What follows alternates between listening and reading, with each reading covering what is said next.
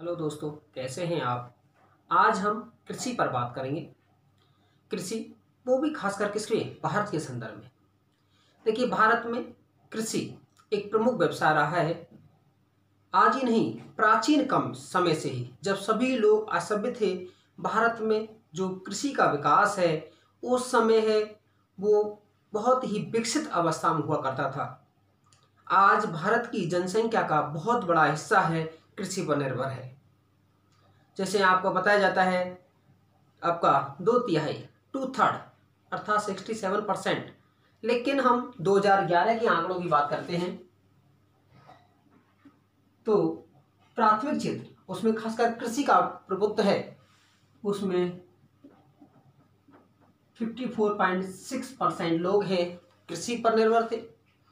और यदि हम वर्तमान की बात करते हैं तो 48 परसेंट लोग हैं, वो कृषि पर निर्भर है।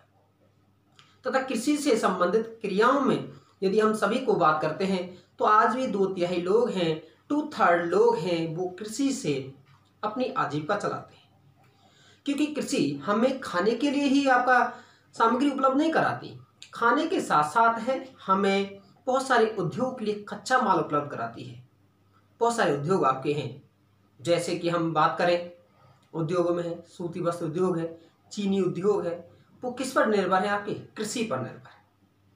दूसरी चीज़ है कि कृषि, जो जीडीपी में ग्रॉस डोमेस्टिक प्रोडक्ट जीडीपी में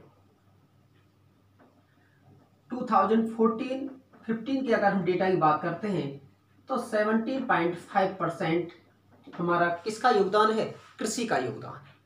तो कृषि एक महत्वपूर्ण आर्थिक गतिविधि है, जो आज भी भारत में कुछ ऐसे एरिया हैं जहाँ प्रारंभिक रूप से भी की जाती है, अर्थात प्राचीनतम तरीके से की जाती है, जिसे हम आदिम कृषि कहते हैं।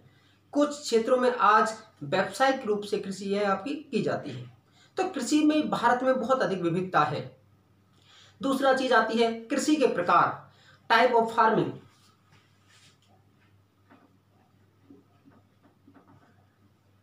कृषि के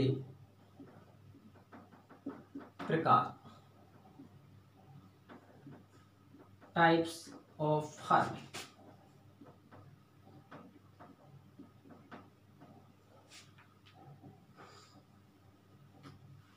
देखिए टाइप्स ऑफ़ फ़ार्मिंग की बात करते हैं तो कृषि है। भारत में एक प्रमुख आर्थिक क्रिया है, जो कि भौतिक, सामाजिक, आर्थिक और विभिन्न प्रकार के क्रियाओं से वो आपकी प्रभावित होती है। कुछ क्षेत्रों में रीति रिवाजों के अनुसार है वो कृषि की जाती है। मैंने कहा मोहनजोदड़ो और हड़प्पा संस्कृति में भी भारत में कृषि है। वो विकसित अवस्था में थी। दूसरी तरफ़ है, भारत के बहुत सारे क्षेत्र हैं जहाँ आज कृषि है वैज्ञानिक तरीके से की जाती है। कृषि में नई नई विधियों का प्रयोग किया जाता है।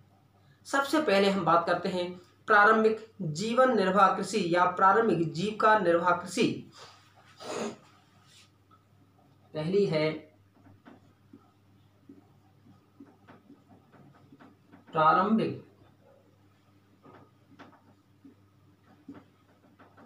जीविका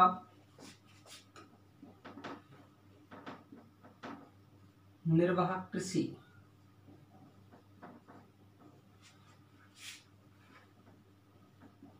प्रिमिटिव subsistence फ़ार्मिंग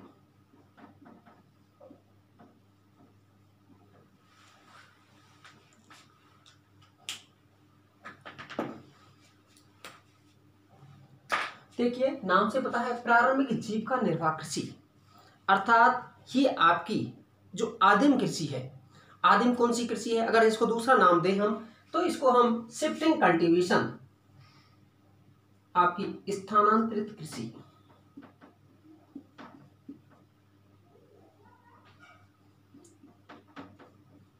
आपकी शिफ्टिंग कल्टीवेशन भी कहते हैं, स्थानांतरित कृषि क्या है, प्रारंभिक कृषि क्या है इसमें? इसमें जब आपका एक भूभाग में प्राचीन तरीके से की जाती की जाती है, परंपरागत तरीके से की जाती है ट्रेडिशनल रूप से, कि कोई खाद बीज का उपयोग नहीं किया जाता। आप एक फ़सल है, एक खेत है, यदि आप इसमें दो या तीन वर्ष फ़सल लेते हैं तो उसकी उर्वरता है फर्टिलिटी है कम हो जाती है। तो इस भूभाग को छोड़ दिया जाता है। फिर यहाँ पेड़ पौधे उत्पन्न होते हैं। फिर को काट दिया जाता है और काट करके जला दिया जाता है। इस कारण से, इसे स्लस एंड बर्न अर्थात काटो और जलाओ कृषि भी कहते हैं। इसके क्षेत्र अलग अलग क्षेत्रों में अलग अलग नाम से जानी जाती है। अलग अलग नामों में क्या है? जैसे उत्तर पूर्वी भारत। North east. उत्तर पूर्वी भारत। जैसे कि मेघालय है, मणिपुर है, नागालैंड है। इन राज्यों में इसे झूमिंग कृषि। झूमिंग आपकी। झूमिंग कृषि कहते हैं। दूसरा है, यदि हम राजस्थान की बात करते हैं तो हम बाल्टरे कहते हैं।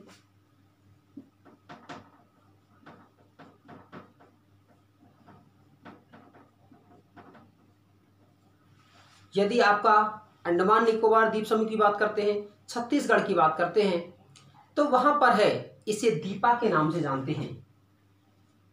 अंडमान निकोबार द्वीप समूह में है, किसको क्या कहा जाता है? दीपा कहा जाता है।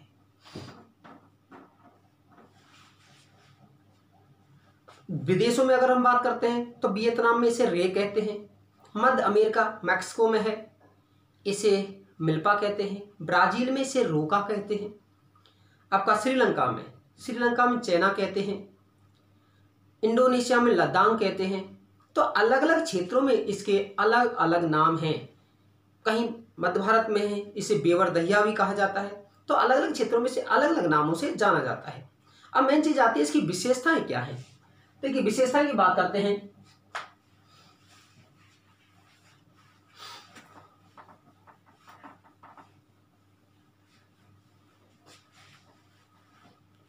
जब स्थानांतरित कृषि की जाएगी तो पहली चीज़ है कि ये परंपरागत है ट्रेडिशनल है। परंपरागत कृषि पद्धति है। अब बताइएगा आप, खेतों का आकार। जब आप इस तरह से कृषि करेंगे, खेतों का आकार बड़ा होगा, छोटा होगा? खेतों का आकार है, छोटा होता है। खेतों का आकार छोटा होता है। और हमने कहा, ये ट्रेडिशनल रूप से की जाती है तो पुराने ही, जैसे खुरपी है, कुदाली है, हल है, अर्थात पुराने। औजारों का प्रयोग किया जाता है। जैसे कि हल है। नेक्स्ट है कि इसमें उत्पादन है। बताइए, कम होगा, अधिक होगा? उत्पादन है, कम उत्पादन, प्रति इकाई उत्पादन है, वो आपका कम होता है। अब बताइए बेचने के लिए होगा या खुद के लिए है? अर्थात जीवन निर्वाह के लिए होगा।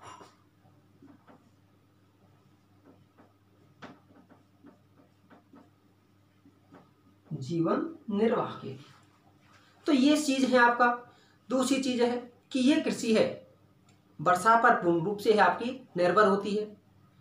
दूसरी चीज़ है, मैंने कहा इसमें खाद बीजों का प्रयोग है आपका, नहीं किया जाता है। स्थानीय क्षेत्र विशेष में इसका नामकरण है, वो आपका अलग किया जाता है। नेक्स्ट है आपका गहन जीव का कृषि, या इंटेंसिव फ़ार्मिंग आपकी।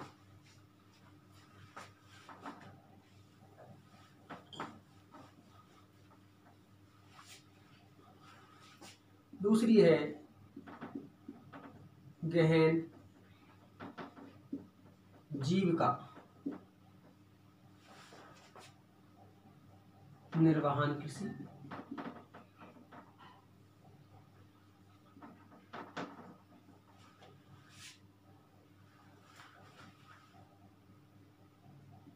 इंटेंसिव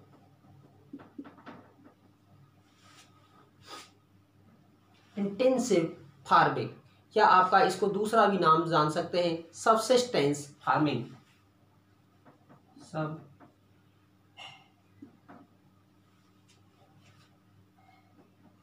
टेंस फ़ार्मिंग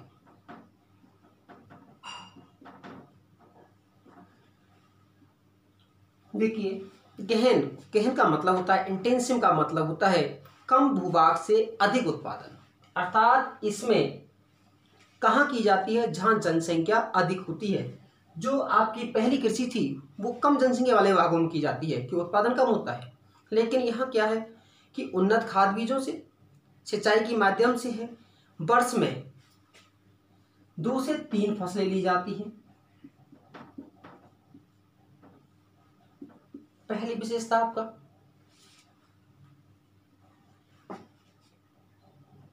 प्रति यूनिट प्रति इकाई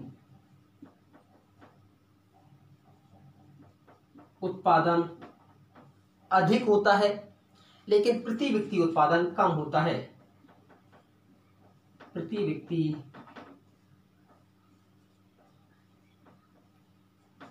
उत्पादन कम होता है। कारण क्या है? जैसे मान लीजिए ये आपका खेत है, ये आपका कोई भी दस एकड़ का है ये भी इधर दस एकड़ का है। इस तरह की कृषि में है, यहाँ पर मान लीजिए दस लोग रहते हैं। दूसरी तरफ़ है जो आपकी शिफ्टिंग कल्टीवेशन है, यहाँ आपके दो लोग रहते हैं। यहाँ आपने वर्ष में तीन फ़सलें उत्पादित की, यहाँ आपका थर्टी क्विंटल उत्पादन होता है। लेकिन यहाँ आपका मान लीजिए फिफ्टीन क्विंटल ही उत्पादन होता है। उत्पादन तो प्रति इकाई कहाँ हो रहा है? इस वाले भाग में। लेकिन प्रति व्यक्ति, आप पर उसको देखते हैं पर्सन को, आप इससे डिवाइड करेंगे तो सेवन साढ़े सेवन एंड हाफ़ और यहाँ आप डिवाइड करेंगे तो थ्री अर्थात प्रति इकाई उत्पादन है इसमें कम होता है। नेक्स्ट क्या है?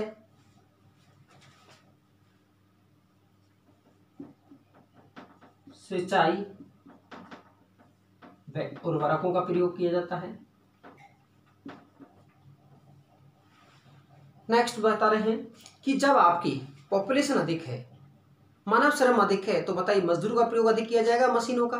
तो इसमें है मानवीय श्रम, अर्थात श्रम का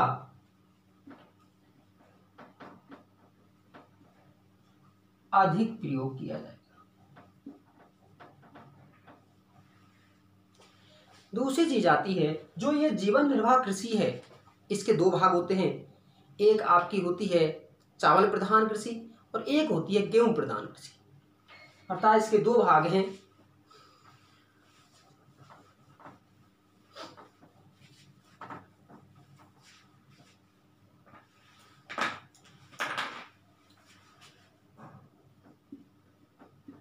चावल प्रधान और दूसरा है आपका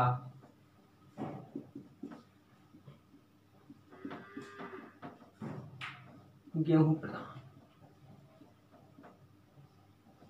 राइस डोमिनेटेड और आपका वीट डोमिनेटेड। चावल प्रधान, जहाँ वर्षा है 200 सेंटीमीटर से अधिक होती है टेम्परेचर जहाँ अधिक होता है, वहाँ पर चावल की कृषि की जाती है, और जहाँ पर वर्षा है, कम होती है, अर्थात 50 से 100 सेंटीमीटर के मध्य होती है। टेम्परेचर कम होता है, वहाँ गेहूँ प्रमुख फ़सल के रूप में आपकी उत्पादित की जाती है। तो ये था आपका गहन जीवन निर्वाह कृषि। और भारत में ये अधिकांश भाग में है आपकी की जाती है। नेक्स्ट आता है वाणिज्यिक कृषि कॉमर्शियल फ़ार्मिंग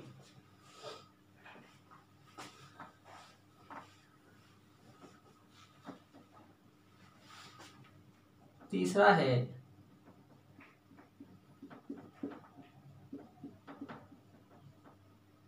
वाणिज्यिक कृषि।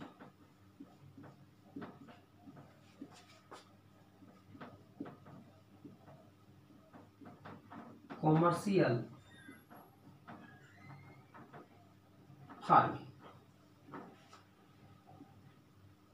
देखिए, वाणिज्यिक कृषि क्या है? वह कृषि जो व्यापार के उद्देश्य से उत्पादित की जाती है। अब वाणिज्यिक कृषि व्यापार के उद्देश्य से कहाँ उत्पादित की जाएगी? देखिए, जहाँ व्यापार के उद्देश्य व्यापार के उद्देश्य से है, वो मुद्रादायनी फ़सलें जैसे चाय है, कॉफ़ी है, केला है, नारियल है कोकोनट है। इस तरह की जो आपकी फ़सलें हैं, वो उत्पादित की जाती है। गर्म मसाले हैं, वो कैसी हैं आपकी? वाणिज्यिक कृषि है। अर्थात जिसका उद्देश्य क्या है? व्यापार होता है। जैसे कि आपका, हम उसमें बात करते हैं तो कपास भी। वो भी कैसी आपकी? मुद्रादायनी फ़सल है। तो इस तरह की फ़सलें हैं जो कि व्यापार के उद्देश्य की जाती हैं, वाणिज्यिक फ़सलें कहलाती हैं। अब इसमें जब ये चीज़ें आप करेंगे तो दो तीन चीज़ें कि उन्नत खाद बीजों का प्रयोग है आपका, किया जाएगा, कि आपका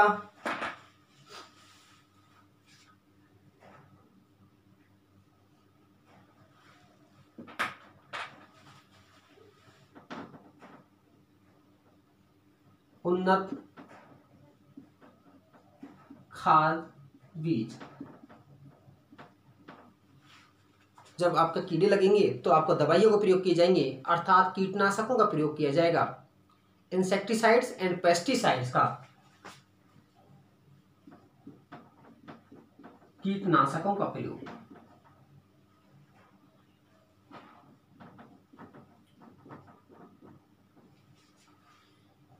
ये भारत के विकसित राज्यों में की जाती है, जैसे पंजाब है, हरियाणा है महाराष्ट्र है। गुजरात। तमिलनाडु। ये की जाती है। नेक्स्ट क्या है आपका? कि इसमें, पता है, पूंजी की आवश्यकता अधिक होगी या कम होगी? अधिक पूंजी।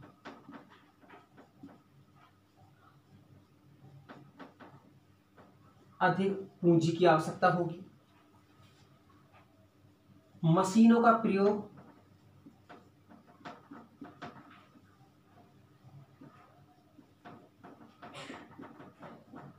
मशीनों का प्रयोग किया जाएगा, लेकिन श्रमिकों का भी प्रयोग किया जाएगा। सस्ते श्रम। जैसे आपने कपास ही किया तो कपास की उस डोडी को चुनने के लिए उसके फल को एकत्रित करने के लिए है, वो आपका मशीनों का प्रयोग नहीं किया जाता।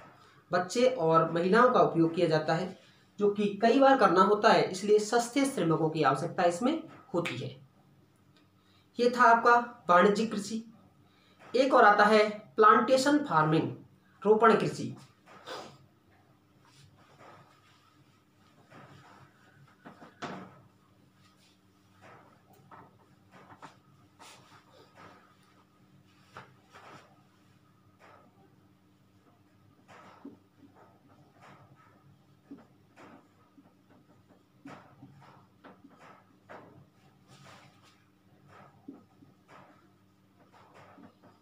प्लांटेशन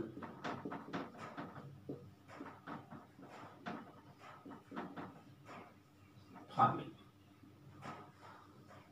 देखिए प्लांटेशन फ़ार्मिंग भी क्या है? एक तरह की वाणिज्य की कृषि है, लेकिन फ़सलों का उत्पादन अलग किया जाता है।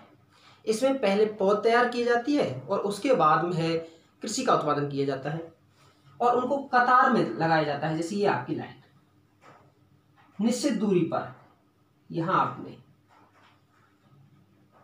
इस तरह से आपका। अर्थात पेड़ों को है, कतार में लगाया जाता है।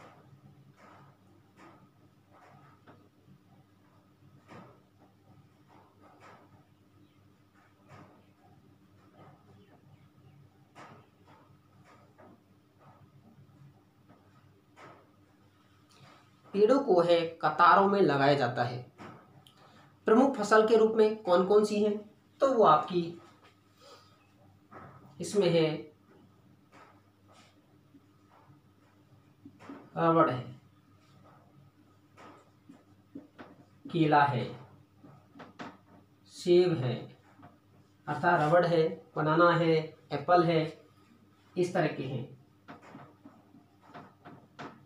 नारियल है। चाय है। कॉफ़ी है। ये आपकी फ़सलें वो होती हैं जो आपकी कई वर्षों तक उत्पादन देती हैं। पहली चीज़। फिर दूसरा है कि इसमें एक भूभाग में है, एक प्रकार की फ़सल बोई जाती है। एक प्रकार की फ़सल। इसका भी उद्देश्य वही होता है, वाणिज्य होता है, व्यापार होता है। एक प्रकार की फ़सल बोई जाती है। साथ ही साथ है उत्पादन लंबे समय तक।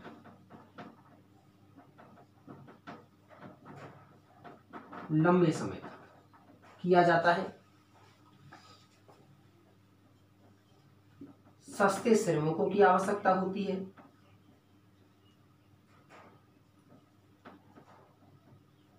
सस्ते श्रम की आवश्यकता। क्योंकि श्रम की आवश्यकता क्यों है?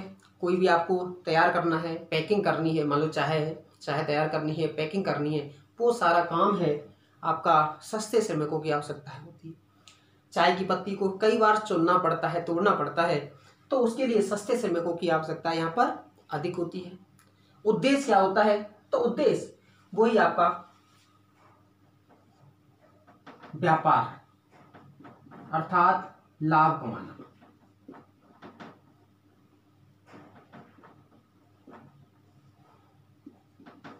कहाँ की जाती है भारत में?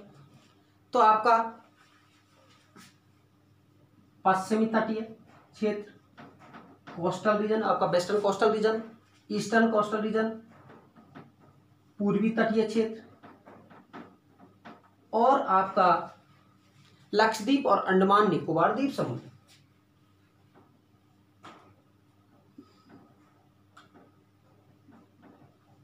लक्षद्वीप। व अंडमान एंड निकोबार द्वीप समूह में है, ये आपकी की जाती है। दूसरी है कि इसमें रोपण कृषि में है प्रोसेसिंग बहुत की जाती है। प्रोसेसिंग करने के लिए भी है आपका मशीनों की आवश्यकता होती है और साथ ही साथ है सस्ते श्रमिकों की आवश्यकता होती है। फिर इसके लिए नेक्स्ट अगला पॉइंट बताइए। जब ये सारी चीज़ होंगी तो पूंजी की आवश्यकता कम होगी अधिक होगी? तो अधिक पूंजी की आवश्यकता होती है। अधिक पूंजी निवेश।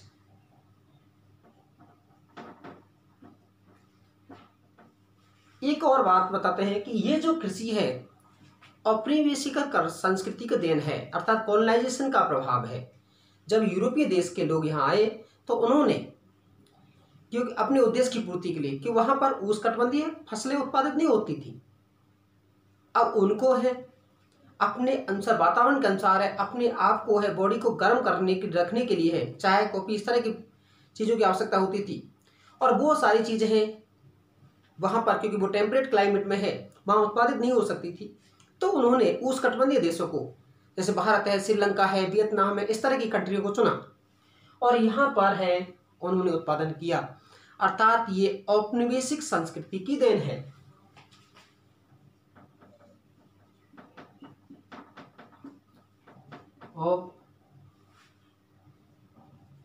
निवेशीकरण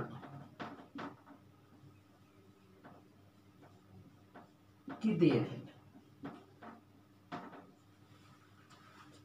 ये था आपका जो कृषि के प्रकार हैं। अब उसमें आगे हम बात करेंगे। कौन कौन सी फ़सल उत्पाद होती है, क्या आपका सस करता या आपको कहते हैं क्रॉप रोटेशन क्या होता है, यहाँ तक आप पहले पढ़िए, कैसा लगा आपको, आप ज़्यादा से ज़्यादा लाइक, शेयर, सब्सक्राइब कीजिएगा, धन्यवाद।